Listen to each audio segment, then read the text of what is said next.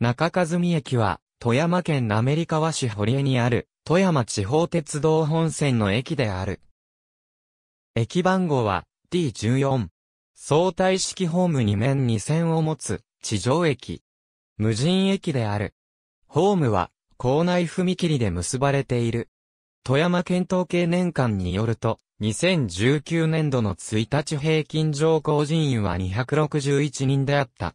近年の乗降人員は以下の通りである。ABC 川島2010、P65、AB 朝日2013、P14、寺田雄一、日本のローカル施設2000、猫パブリッシング、2000年8月1日、120ページ。ISBN 4から8736622079。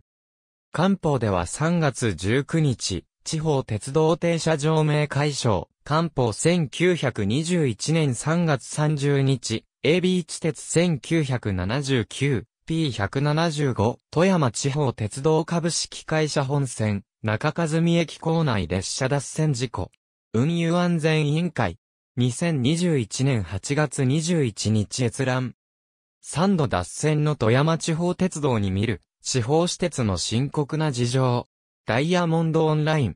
2021年8月21日閲覧川島2010 P33 統計年間富山県ありがとうございます。